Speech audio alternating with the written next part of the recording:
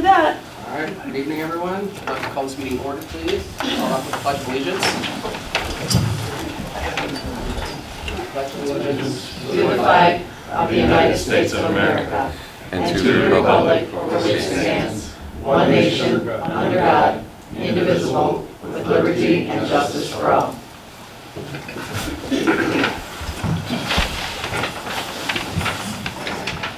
Madam Clerk, could I please have a roll call? Supervisor Alex Sapien, Here. Trustee Dean Morelli, Here. Trustee Greg Vickus, Present. Trustee Karen Johnson, Here. Trustee Denise Salvino. Here. Highway Commissioner Jim Louch. Here. Hi- uh, Collector Jessica Kennedy. Here.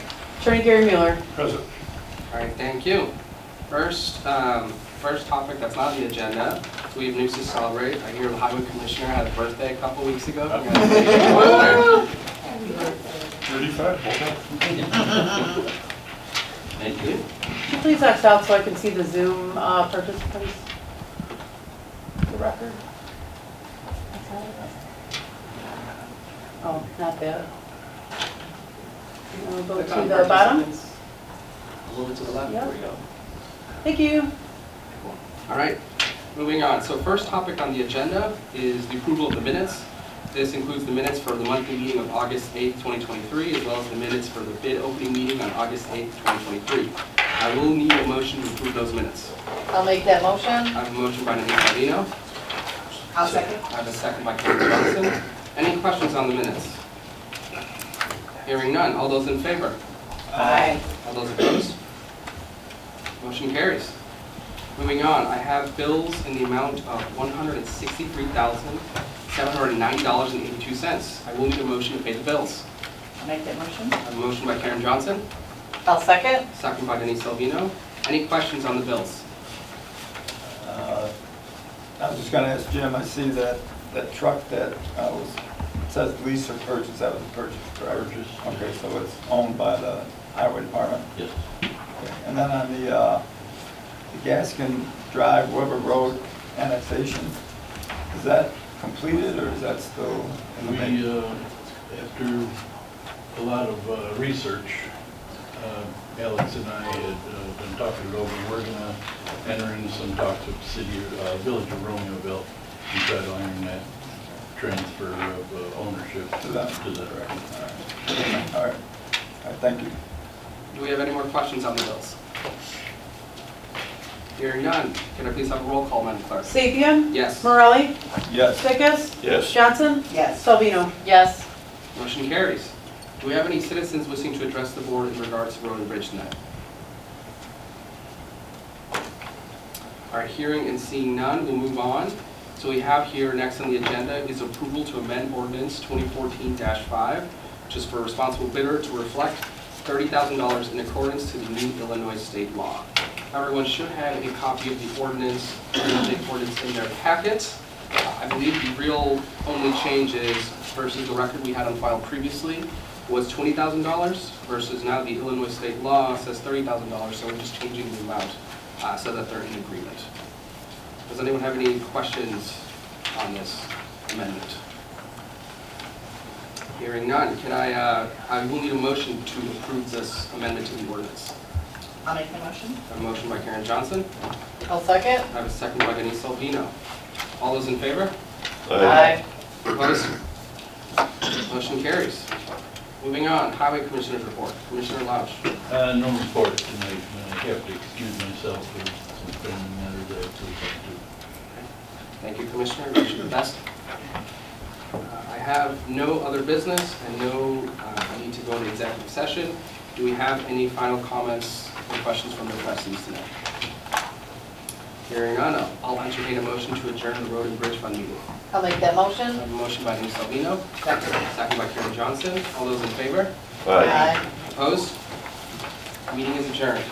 Thank you all. Thank you, Commissioner. Good luck, Jim. Moving on to the next meeting, that is Town Fund. First on the agenda, we have the approval of the minutes, which are the monthly meeting for August 2023. I will need a motion to approve the minutes. I'll make that motion. I have a motion by Karen Johnson, I'll I second. have a second by Denise Salvino. Any questions on last month's minutes? All those in favor? Aye. All those opposed?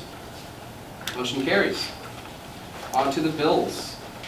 Uh, We uh, we have bills in the amount of $18,139.97. I will need a motion to pay the bills. I'll make the motion. I have a motion by Karen Johnson. I'll So- sec, I'll second. I have a second by Denise Salvino. Any questions on the bills? Hearing none, Madam Clerk, can I please have a roll call? Salvino?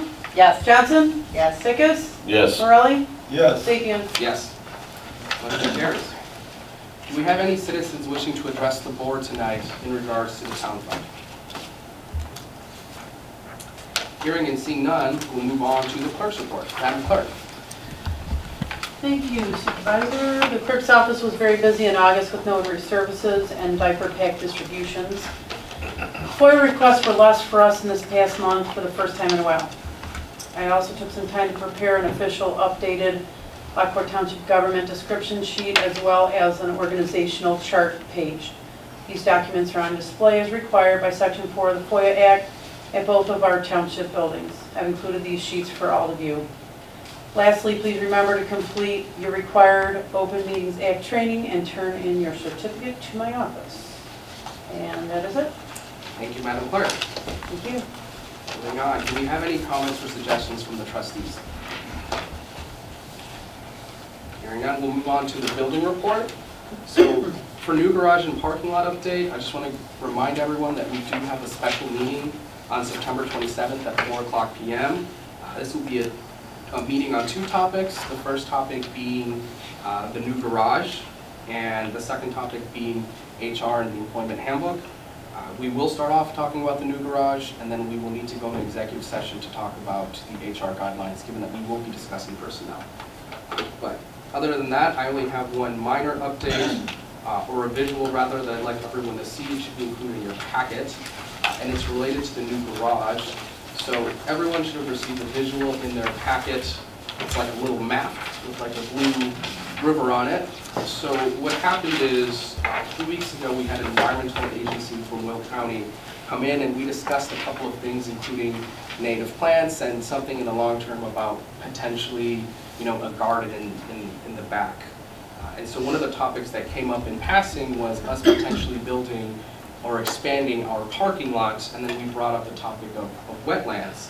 And so this environmental group actually uh, did, you know, somewhere from, on their own hand, uh, to actually provide us this visual of just how much wetland we, we have. And so you'll see that the entire backside of the township fields is, is wetland, and then we have a portion um, that's actually in front of us that is wetlands, but it doesn't necessarily include all of that area, just like a quarter. So the reason I bring this up is wetlands are protected, so, you know, if we had any hopes of potentially expanding the parking lot towards the back, we wouldn't be able to do that. Any construction we do have must be on the side which is to the right of the township, which is actually, you know, facing in front of me, or the area closest to the garage we have now. So, again, we can discuss more of this uh, at the special meeting on September 27th, but just wanted to give everyone a quick update. Moving on to new business. So, the main topic for tonight, I have some friends over from the Joliet Fire Department as well as the Lockport Township Fire Department. Thank you so much for coming. Uh, I want to give just a brief introduction, but the Joliet Fire Department has started this incredible initiative with mental health in the city of Joliet and also in Joliet Township. Uh, And there, we've been in conversations the past couple of weeks of potentially expanding this mental health project into other areas, including Lockport Township. Uh, And so for that, well, what I'll have is I'll have Lockport Township Fire Department give a brief presentation to explain all of this, and then afterwards we'll discuss what a potential partnership would look like. So, my friends from the Joliet Fire Department, if you could please come up.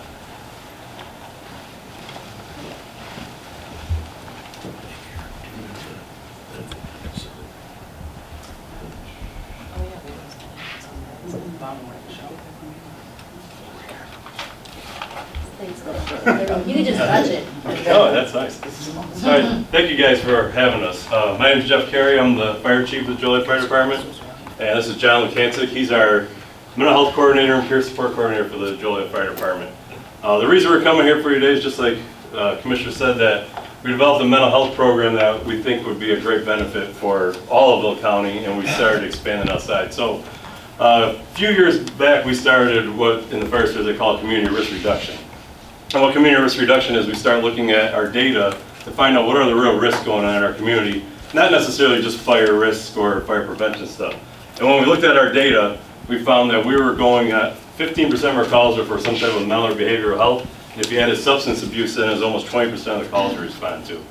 And at first, it might not seem like that was a fire department issue, but like to say, if, if uh, we don't address the problem, it will become a fire department issue. So we looked around, we started trying to find what programs were in the county or in the city, and what we found was that access to mental health care was uh, difficult for most people. It was about six to eight weeks for your first appointment with a psychologist, four months with a psychiatrist. And, um, and then if you were 18 and under and on Medicaid, it was almost impossible. So we were trying to tap local resources. That seemed to be the big issue. And then um, according to the Will County 2020 Community Needs Assessment, it was access, cost, and transportation. So we started looking around at what we could do. So the first thing we did was we figured we wanted to take care of ourselves on the fire department. So John here developed a program called uh, Crisis First Aid for Paramedics. And what that did was it basically turned all of our paramedics into uh, crisis interventionists. Not clinicians, but just, we all learned the seven steps of crisis intervention so we could start that process before we refer them out, just so we weren't just handing you a pamphlet. We knew how to get people to calm down, um, go through the seven steps so we could get them to listen to us, to, to present them with the resources. So what Crisis First Aid for us did was, one, it was for our own, our own uh, personnel. By teaching everybody basically mental health first aid, it, it guy, let guys know in their companies and with themselves, it let them recognize their own stresses and their own issues they might be having. And then two, it recognized within their companies of what was going on. So, and three, then they had the resources at hand if they had an issue. So with our program I'll get to, we, we can get them into clinical care within 24 to 48 hours. Um, so that was the first thing that CFA accomplished. Second thing was, was traumatic stress. All these programs out there going on now with 988, the um, mobile crisis units, that nobody addresses traumatic stress. The fire departments, the police department, we're on the scene when something tragic just happened. You either lost a loved one, maybe your house had caught on fire, uh, you witnessed a bad accident or a shooting. Uh, we largely in the past, we never addressed the bystanders or the loved ones that just lost somebody. So through our CFA program, we address it through traumatic stress.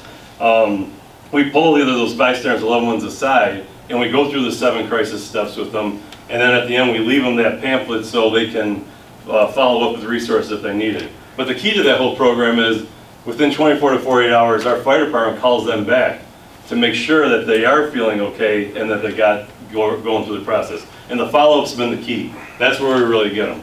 Well, at the call, they're not listening to us, they just lost somebody. But two days later, now they are listening, and that's when we, that's when we get them. And so that is the aim to stop a problem before it even starts. And then obviously the third step was for the, the mental health patient themselves. Um, before we started the program, like I said, we ran into this dead end where we couldn't really get them any better care than what was already available. So what we ended up doing, and this just came, ThriveWorks came to the city of Joliet to be part of our EAP. And when the guy was talking about how great this, it's a national company, over 4,000 clinicians, they uh, you know, can see somebody sometimes same day, but within 24 to 48 hours. 85% of their business is telehealth, but they can also see people in person. Um, and as he was presenting this to the city to be part of the EAP, he was like, well, this is great, but how can we get this to our residents who really need it? Um, and they had never worked with the residents before. They were only working with insurance like everybody else because they didn't need to because they're so busy. So we worked with them over, over a year to get their model to change to what we needed. And they basically did everything we asked for. So we got them to accept Medicaid um, and take pretty much everybody we had. But the key was we had to find them office space for them to do it. So we partnered with Silver Cross Hospital. Silver Cross Hospital gave us 2,000 square foot of free office space at 1051 Essington Road in Joliet that has five clinicians in there and a therapy land just for kids. It's a play therapy land from 5 to 12 year olds where they bring them. So even though they do a lot of telehealth and that's by patient request, people want to do telehealth, they will see you in person and for the kids they want to see them in person. So these were then the partners we ended up getting it into the schools because two school years before this one, within a 15 mile radius of Joliet City Hall, we had 12 high school suicides. And that was one of the big things we wanted to make sure we addressed. So we got it in all of our schools, and in this past school year, we had zero, and in the city of Joliet this year, we haven't had a suicide under the age of 40. Um, and we'll get to those stats too. But then NAMI, it has an office in the ThriveWorks office, because they were able to, NAMI does education portion. So after somebody has their therapy session, they can go get the family education and all that too.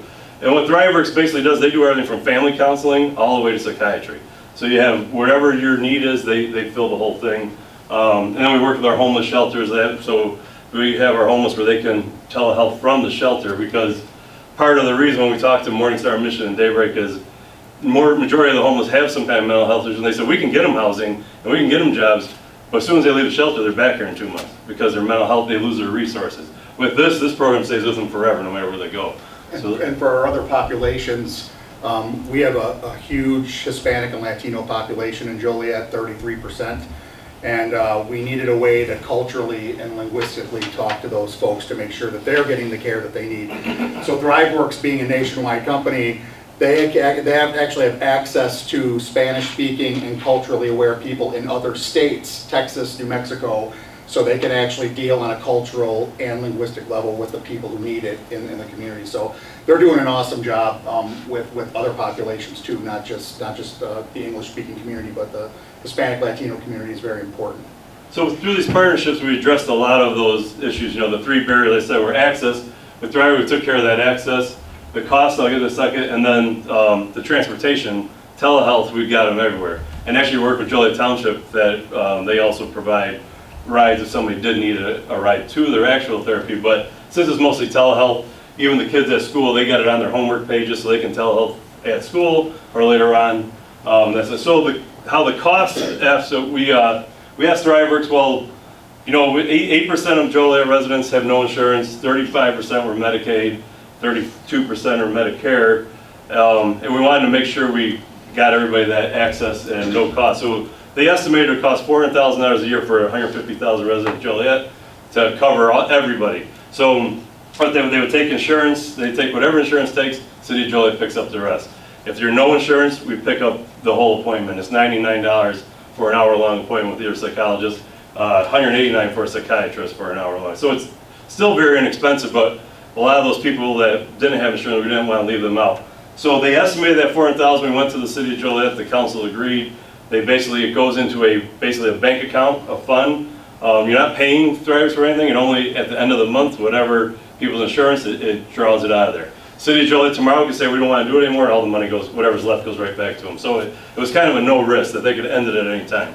Um, and you're not, there's no contract with them, it's just a, an MOU that your money's sitting in their, basically a bank account that gets drawn on, they like, they give you a statement, you know, we don't see patients' names because we don't want to know, but you see who's using it, where they're at, who's no insurance, what's their, so, um, that's been, been excellent with that. So, in the first year, though, we just finished our first year with it, it actually, the actual cost, we had 700 residents enrolled, gave over 4,000 free clinical sessions, and it cost the city of Joliet $91,000 for 100. So it was a lot less than we expected, because they're taking that insurance first. And Medicaid does pay most of it now, now that they're taking Medicaid. So it's really, we have about, was it, 54 people in there with no insurance at all. Um, But what the problem ended up being was, all these Joliet Township residents that have Joliet addresses kept calling, and we'd have to hear the family members crying on the phone that I can't get in, but, because they weren't a resident. So we went to Joliet Township, and they made the same funds so we could get the township residents. And we get a lot of that with Crest Hill residents too, because they're right there, and they're like, but I'm just across the street, you know? It's, uh, And it's like, well, I said, I I can't, because I don't, it's not my money, you know, I can't know- knowingly. Um, But it's, it's hard to hear, so that's when we start. you know what, let's, let's start trying to expand it outside, because there's, we've seen the great use. And so our results have, have been, we've seen, in the fire department this year, we've seen a twelve percent reduction in our mental health calls after, for every year going up. We've seen a twelve percent, and the biggest number, we've seen a fifty-two percent drop in our suicide rate. Um, by really getting into the communities, like, it's not just, and that's why it works great to the fire departments. Because the fire department's a trusted brand, we can get into a lot of the schools, we can work with different community groups that we see all the time. Um, so going through the fire department's been big, a big, uh, success of it. Not that you could do it without the fire department, but we've been a good driver of it just because of the brand. Well, and- and that, that front end cost of ninety-one thousand dollars has saved almost a million dollars on the back end in ambulance fees. That that was just from three patients. That's from three patients, so. So, yeah, we had three patients who in 18 months called 913 17 times. Uh, that was a total of almost a million dollars, just in ambulance bills. If you had their ER bills, is about $4 million. Uh, once we got them in the program last year, since Thanksgiving, those three people have called, uh, and they haven't called at all. The one guy calls once in a while just to see how we're doing. Yeah, Well, and, and we actually had an ambulance crew who was worried about some of the people that they normally pick up. Ten people they went out to visit. They went and visited these folks and just to make sure they were okay, and these folks said, we don't need you anymore because we have clinical care. So the ambulance service is getting a lot less use for mental health. And a twelve percent drop in Joliet in one year is huge because there's a, usually a ten percent increase every year. So a twelve percent drop is, is, is a, is a really big deal for a drop in mental health calls for service, so. So what was happening before was, you know, people, they're in crisis, they don't know what to do, they can't see a clinician for four to six weeks or longer, they call 911. We had nothing we could do for them, we take them to the ER. The ER is not the right place for them, they sit there for eight hours, 10 hours, they see a counselor in the ER, they refer them to the county health department, they still gotta wait that six to eight weeks. So, two weeks later, they're still in crisis, they can't wait to call again. And that's all we were doing, was just shuffling these people around and around. So now we get them here, and it stops. Now, once they call us once, we still might have to take them to the ER that time, but now we enroll them in there and we don't see them ever again. Because the next time they're in crisis, they just go right to their therapist. Or they never, or they're never in crisis again, because they're, they've got clinical care, so. So it's, whoever becomes your clinician is your clinician for life if you want. You can switch if you want, but they're, so usually what we've seen is, once we got a resident enrolled, they see the- their clinician three times a week, maybe for the first two or three weeks. Then after that, maybe once or twice more, and by a month, we- they, they're pretty much done with the program. But if two or three months later, they have a problem again, they just go right back to that clinician. And we're, we're missing the next slide, but the next slide's really good, I wish you guys could see it. But, uh, what, what it indicates is it shows that the suicide rates in, um, Will County, the actual suicide rate in Will County is, is trending up between twenty-two and twenty-three. But the overall, that's, that's outside of Joliet and Plainfield, because we took our numbers out, because our suicide rate has dropped fifty-two percent. So we have actually brought the suicide rate of the entire county down, um, but the county outside of Joliet is trending up. But we brought the overall numbers down because Joliet dropped fifty-two percent in one year. So, so suicide prevention is a huge deal with this. Um, and we have a suicidologist on our peer support group, Sister Mary Frances Seeley. She's a world-renowned suicidologist, and she said that this just doesn't happen anywhere, that you have a drop like this in one, in one year, of half, half of what you were the year before. So it's working out very well. Um, Chief Carey's got a whole litany of, of success stories that go along with this, from folks from three years old up to 84 years old. It's helping a lot of people at a lot of different life levels, people from all, all walks of life, all over the community. And I'm sure he could tell you lots of stories, uh, and if you guys want to know, he could tell you lots of stories. But we wanted to let you know how our program's spreading. So, uh, I wish I had my PowerPoint, it was a little, it's a little easier to read, but we started off in Joliet and Joliet Township. Well, we got a call from, uh, we- well, we got Troy on for next year, so Troy's already bought in. Plainfield's already bought in. Um, you guys are here, Lockport. Um, so we're working, we're working with Lockport now, but, uh, Crete and Channahon, we're, we're talking with them too. So this is actually spreading, started in Joliet and it's spreading throughout the county right now. So we're hoping, and we were, we, we- they have the 708 board in, in Will County, the mental health board. We're actually hoping to make this their thing, so they can pay for it eventually. So that the individual cities and townships don't have to foot the bill, but that's gonna be, that's a walk that we're on right now that we're trying to get to. So, um, you guys are all aware that the tax that got passed, the, the 0.05% for mental health, that's what we're kind of going after to try to get the whole county and to, to be covered on this. And we figured, what was our estimate to cover the whole county on? About a million dollars. About a million, or between one and two million dollars to cover the whole county. So, so that's wh- what we're, we're moving to next with this is, honestly, the townships probably shouldn't have to bear the brunt of this, especially when the county is taxing for it. So we're kind, we're working with the county and we're going to the seven oh eight board meetings to try to get them to, to buy into this as well. So hopefully, if it's funded in these, in these townships, hopefully it- that's not for long. Hopefully the county starts funding it um, when they get their money for the. Yeah, that levy won't, you know, it's- it'll be year. back for this year, so they won't even receive money until next summer. So we're looking, everybody to get on now, and then hopefully, once, if they pass it in a year, it'll be all on them. But in the meantime, we've just seen such great success, and it's worked so well for our residents, we're hoping that other people would come about just because it really has really helped out. We've seen, I mean, I guess he said, I could tell you twenty different stories of people that have called and talked to us about it, so, um, I think unless, whatever said there. Yeah, actually, in both hospitals, in St. Joe's and Silver Cross, Silver Cross, uh, doctors and nurses there, they can refer people right to Thrivers. St. Joe's doing the same thing on, on discharge, they're referring people out because they just don't have the clinician to handle it. So with the shortage of clinicians, doctors, nurses, this is kind of what we're using to, to, uh, address that. Well, and, and the way we wrote this up is, we wrote it up so what we did in Joliet can be done in any other community. So we actually wrote a book about this, if you guys want a copy of it, I'll get it to you. But it's how any community with a fire department, a hospital, a NAMI chapter can make this work in their own community, you know, without having Joliet to be, have to have to be involved. So, um, this is something that, you know, we kind of started and it's good, but anybody can do it as long as they know the right, the right steps to follow. So, so if anybody wants the book, I'll get you a copy of the book, and Chief Carey sent his card around, if you send him an email, I'll get you a free copy of the book and you can read it. And But it tells you how to do all this stuff, who you have to partner with, how, how you have to set this up in order for it to work for the whole community. But the reason this works is because of the fire department. The reason it works is because the fire department, because people see the Maltese cross and they trust, and they trust the fire department and they say, all right, what they're telling us, we're gonna listen to that, where if somebody privately came in, if ThriveWorks was trying to do this on their own, it would have never worked. Um, and we were really rough on ThriveWorks when they came in to make sure they were on the level and they were doing what they were supposed to be doing. But like Chief Carey said, they did everything that they said they were gonna do and more even, and it's worked out well. But the hospitals and the schools were two of the most important, of the two most important people, and they bought into it very well. Joliet Township and Joliet Grade Schools both bought into it very well. They use ThriveWorks as well.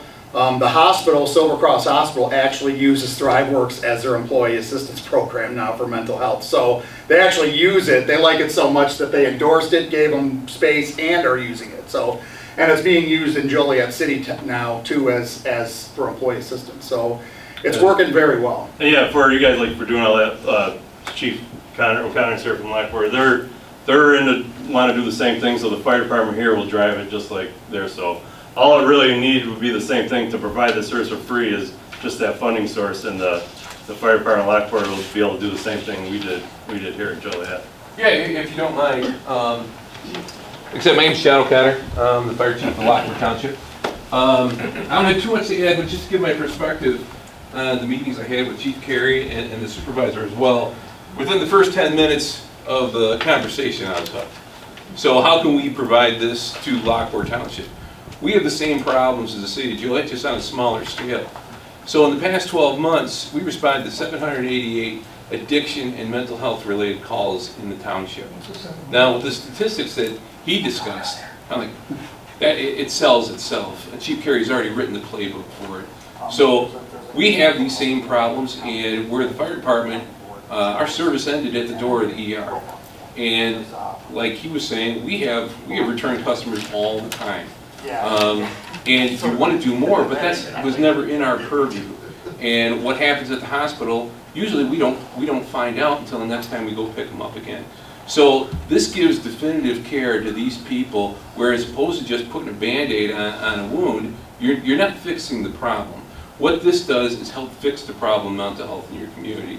And the suicide statistics speak for themselves. So if that's something that we can implement in Lockport Township, I'm on board. Um, We're going to present to our board uh, this month a proposal to create a a full-time position for a community, community risk reduction officer, which will include a community mental health program. If they don't approve that, we're going to get the community mental health program done anyways. Uh, We want a pretty lean administration, but uh, we'll find a way to get it done. So, but I'm, I'm pretty confident, I've already met with three of our trustees and explain the program to them, and I'm gonna have Chief Carey come to give the same presentation at our board meeting. So uh, I think it, I think it sells itself um, pretty much, but as, as you talking, the partnership is essential um, with the township, and I think it just makes sense. We have Lockport Township Fire District working with Lockport Township government for the benefit of our community. It just makes sense to me, so. um, uh, I have really nothing to add to their, they killed it on their presentation, so, uh, but I, I'm here for moral support for the supervisor and and happy to answer any questions of how we're gonna get this done. Thank you so much. You guys have any questions? I guess I just have one when it comes to, I know you said about billing and how some people, they're not in the district, they're not in the area. I know the fire protection district is much larger than what technically our township is. So does that, how does that work? Is it strictly just, we pay for the people that live in our township Mhm. and anything that's So, outside and, if, so you guys would get like how on that flyer, that number, that's Joliet specific, you would have your own number, and when they call, th- there would be a way to verify that address, that it's in the township. So right now, we have two different sets of voucher numbers we go out, City of Joliet and Joliet Township.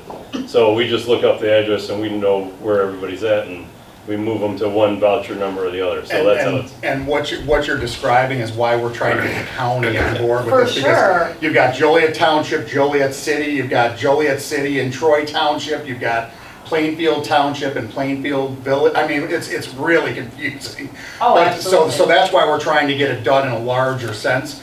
So the townships were, are a great way to start with this, but really what we're hoping for is for all the township board members to show up at the county 708 meeting and say, Uh-huh. you guys need to fund this countywide. And that, that's, you know, next year, we're gonna be sending you Well, a especially note to after do you've got all the work done. Yeah, it's- Well, and that's, and that's the thing, is it's already, it's ready to go countywide right now, it's just, you know, s- get, getting it through the political process is kind of. the thing. What, and the beauty of the expansion are- that they've already done is, we're majority Lockport Township, we do cover parts of Plainfield, and Troy Township, but they're already getting on board with this program, so we're still able to help hundred percent of our That's community. Yeah. Um, one thing, uh, I want to touch on too is the whole HIPAA is where the fire department comes in. We already are, are privy to that information when we reach out to these seven hundred and eighty-eight patients that we already responded to. So there's no violation of HIPAA or medical privacy. We reach out to them and it's voluntary that they contact ThriveWorks. But we encourage it and give them basically no excuses to say no. You gotta take care of transportation, you take care of the cost of everything. And it's, it's essentially a follow-up to, to help them get better. So I think, I think he, he touched on a great point where, you know, as us working in, in, in, as a partnership, um, you know, the HIPAA violation, all that privacy is kept in place and kept intact. So it all works as far as I can see. And worst case scenario, you get somebody who's in between the township and the fire protection district. They're still, they can still go to ThriveWorks. And if they have insurance, it's probably gonna be covered hundred percent. Most mental health is covered hundred percent for adults anyway. Children are a little, sometimes that's tenuous, but, but, um, for adults, most of the time, if they have insurance, that's gonna be covered, or they may have a small copay, twenty bucks or whatever for a visit. So everybody can use ThriveWorks now and be seen in 24 to 48 hours, which is the big deal. That's amazing. Yeah, so, so they can use, they can do that now, even without you guys funding anything, they can do that now. It's just that they would have to pay their po- copay out of pocket. If they're Medicaid, they're gonna be covered completely for Six. six visits. So if they're Medicaid, they're gonna be covered for the first six visits hundred percent. So, um, the only ones you'd have to, the only ones that would have a hard time are those who are, uh, those are un, who are uninsured or, or underinsured, those would, they would have, but that's only like a, that's a hundred dollars for a thing. So they still have access to rapid definitive care, it's just that they would have to pay for it, so. Um, but most people, I don't know what the percentage in Lockport Township or Lockport Fire Protection that, that is insured versus self-pays versus Medicaid, but, um, most people are gonna be covered at- already. And it's only gonna be the few who have, uh, have payments to make the co-pays or whatever, or who are uninsured, or are gonna be the ones who are are really gonna we've be. seen that work, we follow our uninsured, and we've had five of them move over to insurance vouchers, because after they got their mental health taken care of, they were able to get jobs. So it's actually coming around, you know, where now they're paying back into it.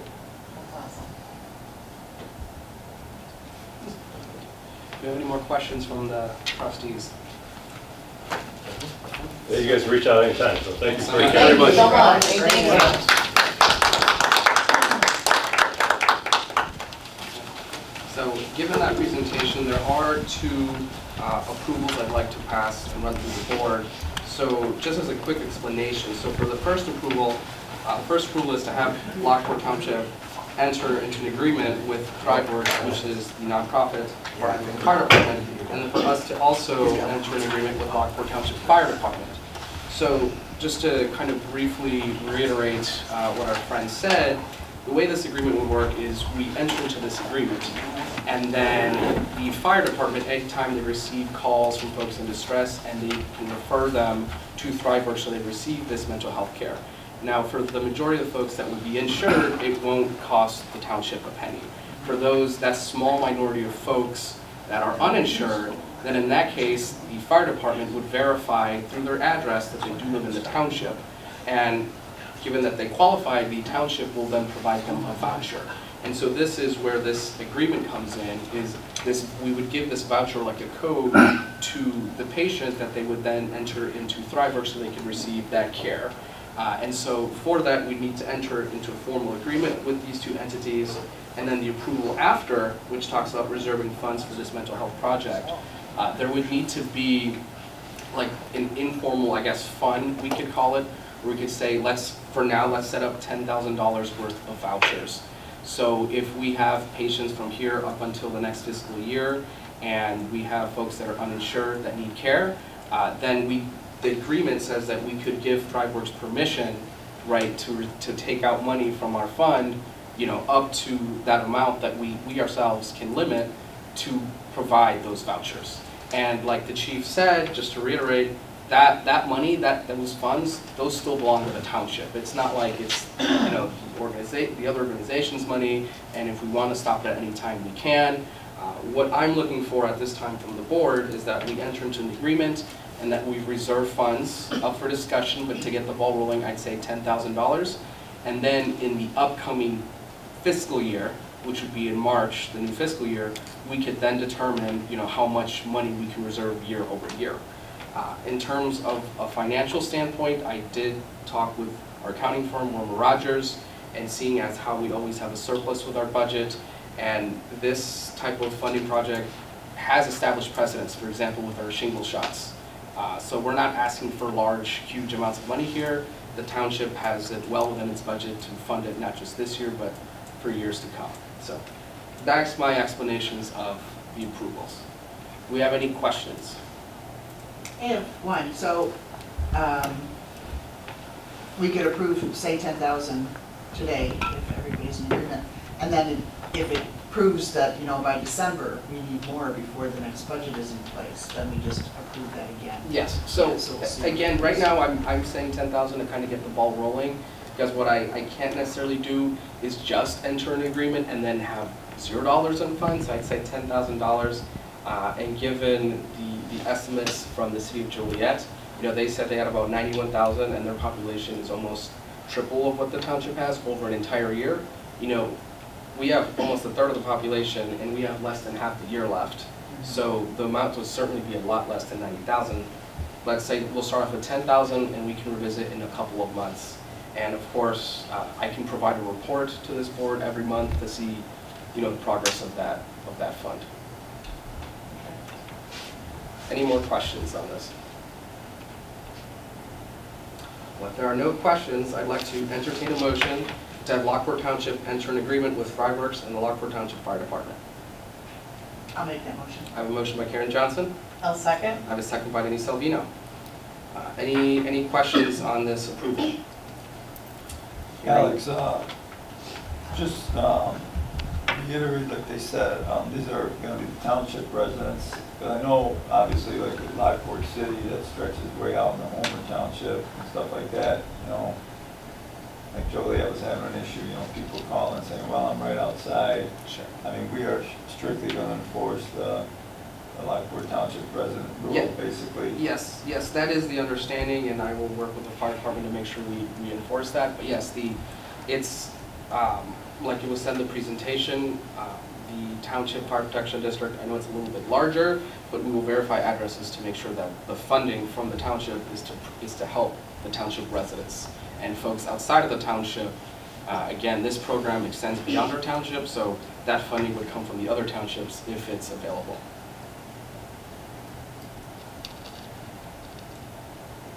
Are there any cross sections between Lockport Township and Joliet that we'd have to enter an agreement with other, other uh, fire protection districts? So you're, you're asking for, So are, are some like, let's say, in Crest Hill, are they covered by, are that all covered by Lockport Township Fire Protection District, or is it covered by Joliet? so I, I think. uh, It's Lockport. It's all Lockport? Yes, sir. Okay, I didn't know if there, you know, those lines are all over the place, you know? In the, the parts of, uh, city of Lockport that are Homer Township is covered by the Homer Fire Protection District, so I, I'm sure they'd be next on, on your list. So, so the other side of Farrell Road's covered by Homer Fire Protection District, right? Yes. Okay.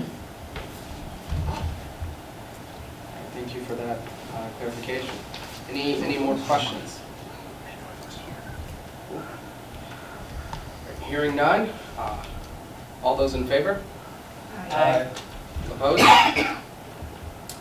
Motion carries. Moving on to the next approval, the approval is to reserve funds for this joint mental health project. Um, I feel strongly that we can start off with ten thousand dollars. Does the board think that amount should be different? I will, I will say further that this amount, ten thousand dollars, this is what, uh, the, Stephen from ThriveWorks and I was our point of contact with ThriveWorks. We discussed what an appropriate amount would look like, and so we agreed on ten thousand dollars. You know, we can change that amount if we need to, but that's, that amount isn't arbitrary. That is an amount that he and I discussed. I think it makes sense based on the comparisons to Joliet, what they've experienced, as well as it's not like we're giving them ten thousand Right. dollars. It's, it's just a It's- it's- pool that's exactly. available for It's, use. it's, it's our money, and what I will say as well is, you know, with, with this, it's not like we agree this and then starting tomorrow, we're starting to get a ton of patients coming in, right? We're, you know, in Lockport, we're still getting the ball rolling, and this is where we work with the fire department, and this is where we work with ThriveWorks to kind of introduce this program and make the school districts aware of this, to make residents aware of this. So it's still gonna take a bit for residents to become aware of this program anyways, mm-hmm. which is why we decided on this smaller amount. So, so, do we have any, any questions on this? Hearing none, can I please entertain the motion to reserve uh, $10,000 worth of funds for this joint mental health project? I'll make that motion. I have a motion by Denise Salvino, I'll second. I have a second by Karen Johnson. Madam Clerk, can I please have a roll call? Sapia, Yes. Vickus, Yes. Morelli, Yes. Johnson, Yes. Salvino. Yes. All right, motion carries. Thank you so much, everyone. Uh, So, my folks at the fire department, I very much appreciate you guys coming here. Very excited Thank you. to work with you all on this initiative. Uh, We are going to continue with the rest of the meeting. It is a public meeting. You are more than welcome to stay here, but I also...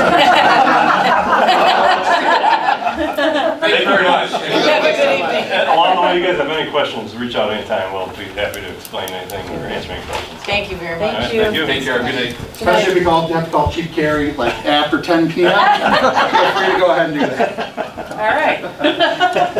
Thank you. Thank you. Moving on to our next topic, which is the approval of Resolution 2023-7 to have elected officials participate in the IMRF. So everyone should have this resolution in their packets. Uh, All it essentially is, is we've passed this resolution really in the past. The only difference is before, uh, the requirement uh, to participate in the IMRF fund was that the full-time elected officials work 600 hours, and now it's just 1,000 hours. So that's the only change, it's just a technicality. So, are there any questions on this? I just wondered, I know there was, um, I I don't even know what to call it, but just, uh, when our highway commissioner changed over, um, I think he was already collecting retirement funds from IMRF, and there was some question as to whether we contributed or, you know, and I'm guessing that stuff got taken care of, but, so are we actually paying into the retirement fund for him now, and he's got that on hold, or? I don't believe so. Am I? Yeah, please, please. Okay, so go ahead. in Park District. So uh, it's my understanding that he was able to opt out hundred percent. Of So as an retirement. elected official, you have to choose to enroll into IMRF. Um, and chances are his salary is not beneficial to his benefits. So he's just not participating. So the township would, would contribute either way. Okay, so this is just a general thing, raising the hours for these Yes. positions, not necessarily these people at this time. And a thousand hours, a thousand hours is a standard. Yeah. I don't track around. Okay. Thank you. Any, any other questions on this resolution?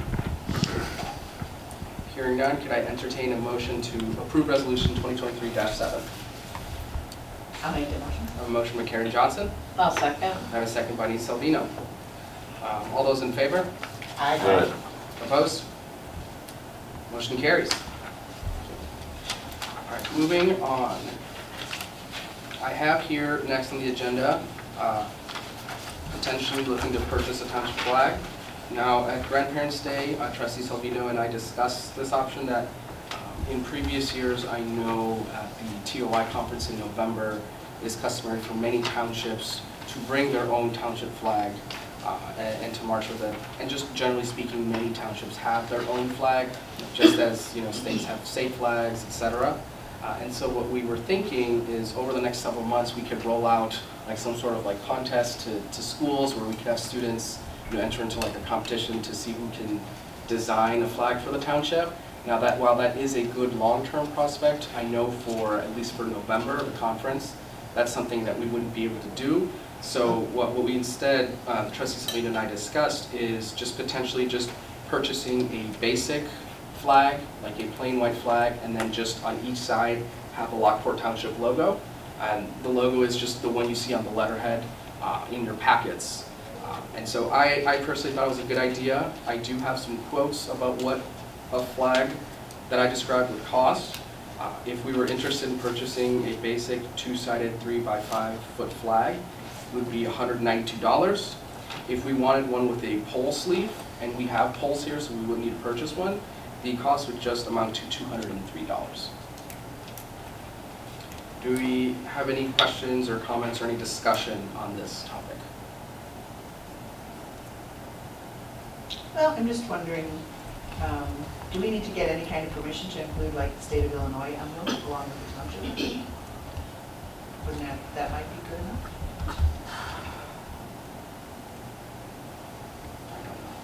I don't know, I think that would be a legal question. Yeah, instead of getting two flags within a year's time? Just so- So- Sorry. Well, if we're gonna have a contest for designing of a flag, but we're gonna buy a flag for an interim. We spend more than two hundred dollars on water. Buy a flag for two hundred Yeah. bucks. Uh-huh. So I I guess, let me, just to clarify, is what you're saying is should we just get a flag with the Lockport Township logo and the state of Illinois like emblem on it? Yeah. Um, And are you saying that would be like a, both a long-term and short-term solution? Just throwing it out there, that's what I just wondering. I'm trying to understand. I mean, we could Yeah. potentially do that for the short, short term. Um, I will say, again, we have to decide what our township flag would look like, so I feel like, you know, we have the Illinois emblem on the Illinois flag. I feel like the township flag would have to be distinct. Um, It's the flag. And that's pretty much when they have all the um, flags on display, they're specific to their township and not necessarily tied into the, Yeah, I guess we could use it as a banner after that. Could we just call it a banner and get away from flag topic? Just say, hey, we got a nice banner. Well, Looks like a it'd be flag. good carrying the parade, I mean, you can do a bunch Looks of like a stuff with flag, it, but it's a display it. banner. You know, Yeah. Yeah, I'm good with that, yeah, because then after that, it's just a three and by five banner with a logo. Right, we, we could, yeah, to Yeah. technicalities, we could call it a banner. Yeah. I'm cool. We're Okay. okay.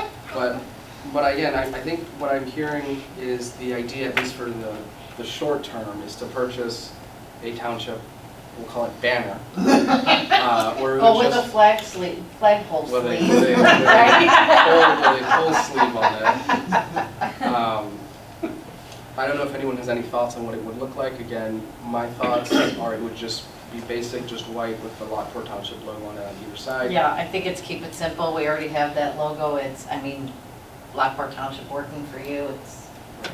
I feel like it's pretty recognizable yeah. township, so.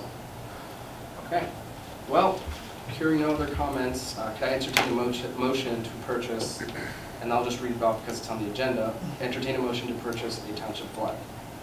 I'll make that motion. I have a motion by Karen Johnson, I'll second. I have a second by Denise Salvino. Madam Clerk, can I please have a roll call? Sapien, Yes, Morelli, Yes. Vickus. Yes. Johnson, Yes. Salvino. Yes. Motion carries. All right, moving on. Uh, Next topic is approval to receive and plant a peace pole on township grounds. Now for this, similar to how I had a conversation with um, trustee Denise Salvino for the township flag or banner, I had a conversation with trustee Karen Johnson regarding, uh, you know, peace symbolism.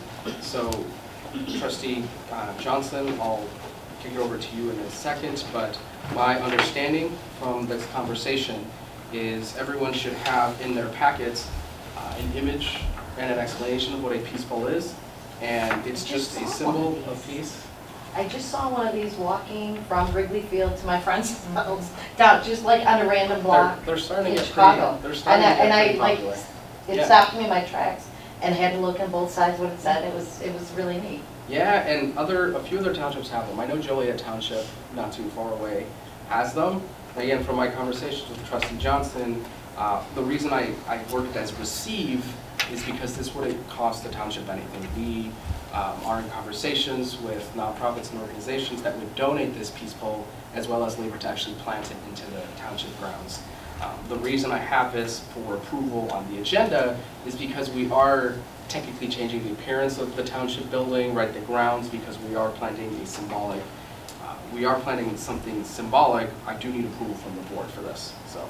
uh, Trustee Johnson, is there anything you would like to add? Yeah, no, just, I was at a, um, a meeting at the Joliet Township Building with a group, uh, working to have Joliet become a nonviolent city under a certain organization's nonviolent cities group. And they planted a peace pole there at Joliet Township. And just thought, you know, let's do that here. So there's, I may be bringing more conversations back to the group at different ways. Joliet qualified for a, a $2 million grant recently for gun violence prevention because their gun violence numbers were high. I did check, it's a state grant. Um, Bolingbrook is the only other city in uh, Will County that would qualify for that. Gratefully, we have, we don't have high numbers.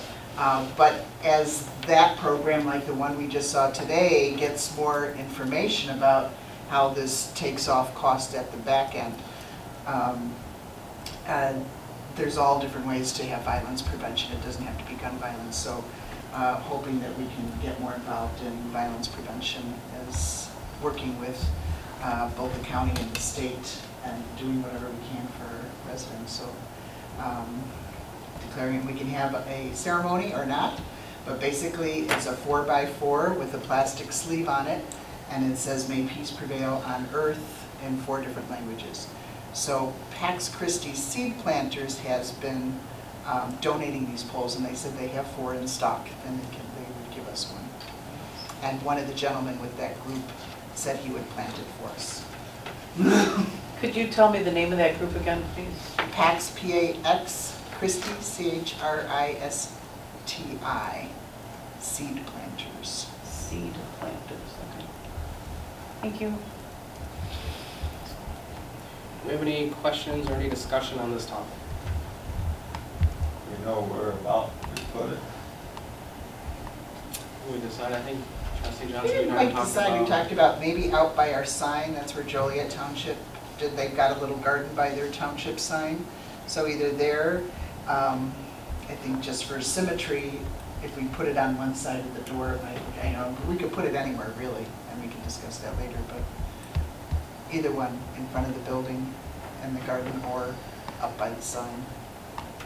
Because it could, you know, probably people aren't going to notice it as much out there, but, you know, closer to the door where people walk in, that they could take notice. We could decide that. Yeah. But any, any questions on this Peace Pole topic? All right, hearing none, can I entertain a motion to uh, receive and plant a peace pole on township grounds? I'll make the A motion. motion by Denise Salvino, I'll second. and a second by Karen Johnson.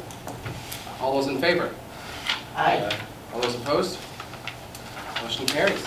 Thank you. All right, We're done with approvals for the town fund agenda. Moving on to other new business, I will let everyone know that the newsletters were mailed out.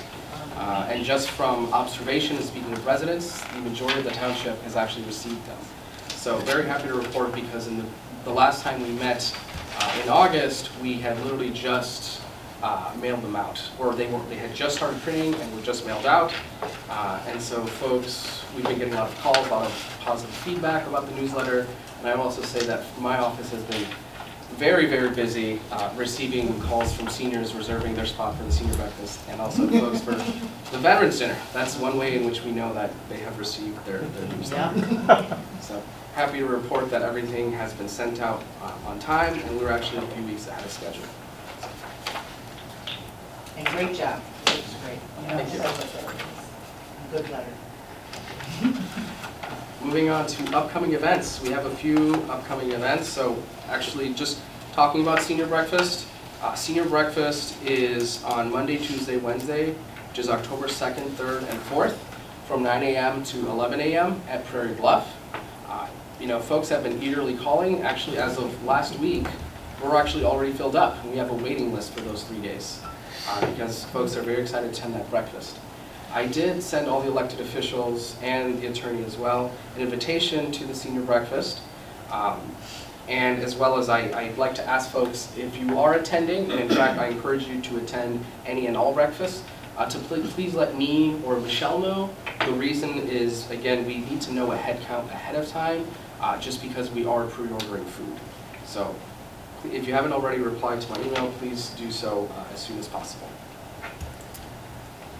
After that, um, we have a, there is a Lockport Community Resource Fair happening on Saturday, September 30th from 9 a.m. to 1 p.m. Uh, The pastor at Shepherd Hill, Shepherd of the Hill, actually invited us, as well as other organizations in Lockport, uh, to partake in this resource fair, which is on behalf of the Lockport Community uh, Roundtable. I know there will be voter registration there, uh, actually done by our very own clerk. Uh, And then, uh, this, you know, our office will have a table there as well as, I believe, the assessors. So everyone here is invited to attend. Um, Again, it's on Saturday, September 30th. It'd be nice if, if that might be too soon, if we had our version of that fire department brochure at the time. You know, might be too quick, Yeah, I think our, oh, our version of a mental health brochure, I think that would be, I think that'd be a very quick turnaround. but, yeah. Um, You can do it, just print out a hundred. Maybe we can- I know you can do it, I'll see what I can do. I'll see what I can do. just draw it. Straight up. Start writing them down. I know. Don't stop. I'll, I'll see what I can do.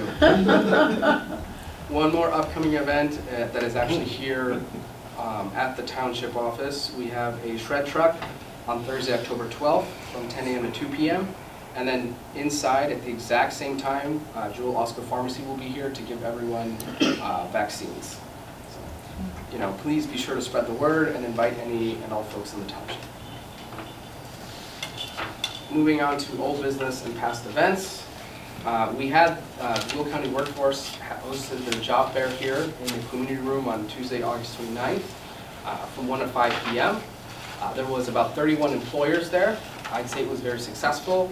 We had a healthy balance of people coming in. It was never at one point any too crowded and too much noise, but also wasn't ever empty. And uh, folks were very eager to come in, and I was also very happy to see that many folks were able to actually get a free professional photo headshot for their LinkedIn or their job application here as well. So it was successful, and I'm in conversations with county workforce to have a job fair again in the future to make this a recurring thing. Uh, One more past event that is not on the agenda, but I did mention was Grandparents' Day.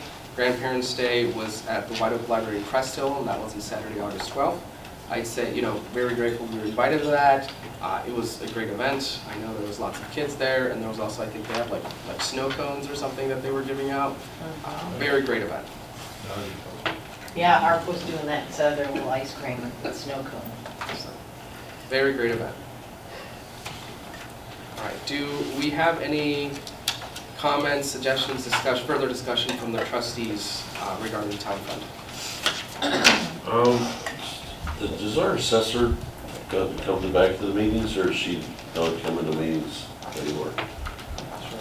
Uh, That's a conversation I I would need to further have with the assessor. Uh, My understanding, the last time I did discuss with her is right, this year is is a quadrennial year, uh, and so she is extremely busy, so her bandwidth is a bit limited.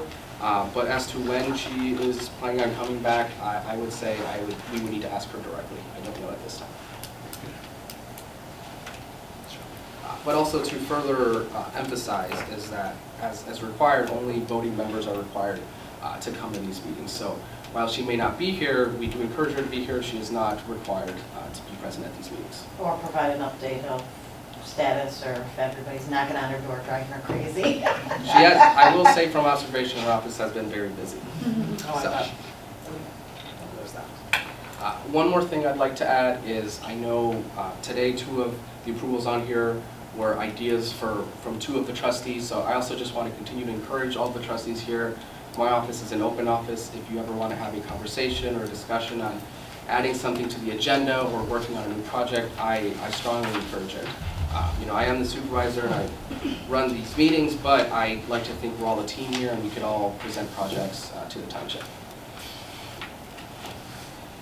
Having said that, could I please entertain a motion to adjourn uh, the town fund meeting? I'll make that motion. I motion. have a motion by Denise Salvino, I'll second. I have a second by Karen Johnson. All those in favor? Aye. Opposed? Motion carries and the town fund meeting is adjourned.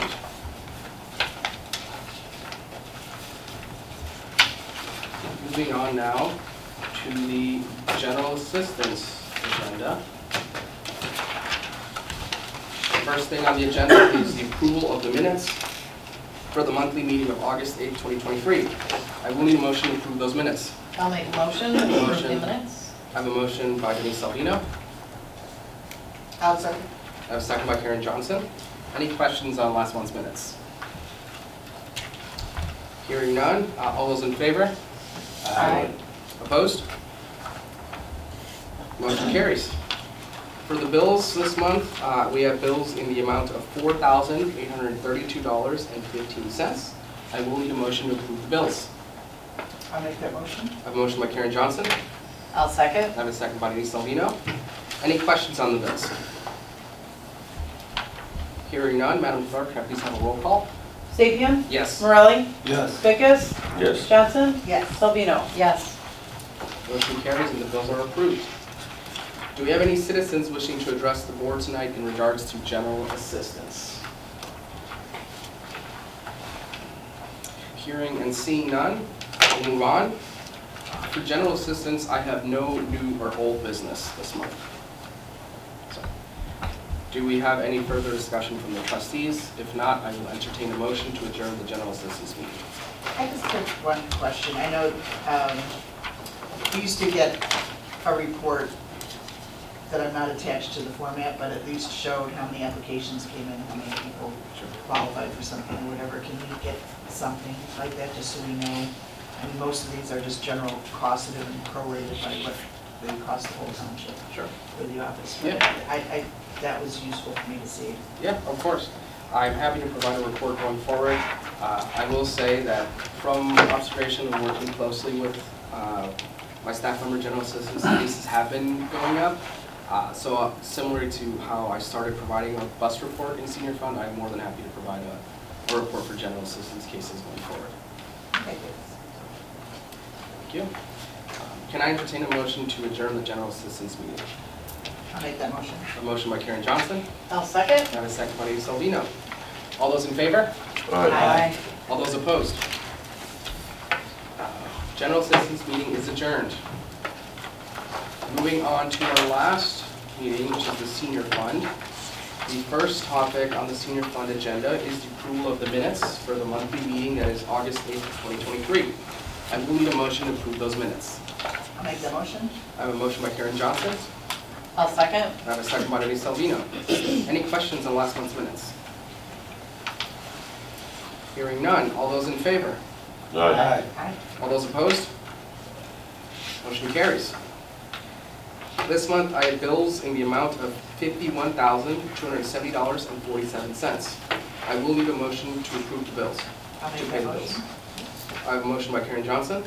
I'll second. I have a second by Denise Salvino. Any questions on the bills? Hearing none, Madam Clerk, can I please have a roll call? Salvino, Yes? Johnson, Yes. Vickus, Yes. Morelli, Yes. Sapien. Yes. Do we have any citizens wishing to address the board tonight in regards to the senior fund? Over here, Uh, Yes, please, could you state your name for the record? Grant Spooner. Thank you. Uh, Homer Township is having a senior fair at the Hadley Grade School on Bell Avenue this Saturday. They- It's from 10 to 2, I think. Oh, I got- Senior fair this Saturday from 10 to 2? It's kind of across from what used to be Big R. All right, thank you so much. Uh, Do we have any other citizens wishing to address the board? All right, hearing none, we'll move on. Uh, So bus report and new business, you should all have a copy of this month's bus report in your packet. Uh, So I know last month I provided a thorough report with data and observations. This time I just condensed it to um, just the data, but we can see that in July, we had 490 uh, trips on the bus, which averaged to a little under 25 rides per day. Uh, This past month in August, the number of rides or trips increased to 543, and which brought the, the average rides per day went down a little bit, at closer to 24. Uh, But I will say, if we look at the graph right below it, we see for the average rides per month in 2023, uh, that, am- that amount last month was 503, and this month, uh, given that the amount of trips has increased, the average rides per month has now increased to 508. So we only have, uh, you know, two months so far, but again, we're- we are seeing the amount of bus trips continue to increase. Uh, And so right now, we are currently at 80% capacity, what used to be in 2019. Um, And again, things are seasonal, so we might see some changes now that the weather's chillier, but I- as always, I will continue to provide updates. Thank you. forward. I have no other business for the senior fund. Uh, Does anyone else have any points of discussion or anything to bring up? I have one question, and I'm not sure if it's for this or other. Um, But as the, the firemen were talking about transportation being an issue for um, people to get to mental health facilities, and when we saw that report from Will County that they were trying to, you know, fill in the gaps of services across the townships in the county, um, some of the townships have bus services for disabled and seniors. And I just wondered if, I know this was set up a long time ago and it had to do with a referendum that we would, you know, offer these senior services, but I just wondered if that's something that we can entertain at some point, is expanding the services for disabled as well. Sure. Or if there's something that we would have to look at that I think we already. We already have. Contribute to PACE, Yeah. who handles the disabled and. The dial rider, number, yeah. Right, mm-hmm. and we already uh, contribute to that. Oh, okay, so PACE does that. Yeah. Very good. Okay. Thank you. All right, can I please entertain a motion to adjourn the senior fund meeting? I'll make the motion. A motion by Karen Johnson, I'll second. second by Lisa Salvino. All those in favor? Aye. Opposed? Meeting is adjourned. Thank you, everyone. Have a great night. Thank you too. Six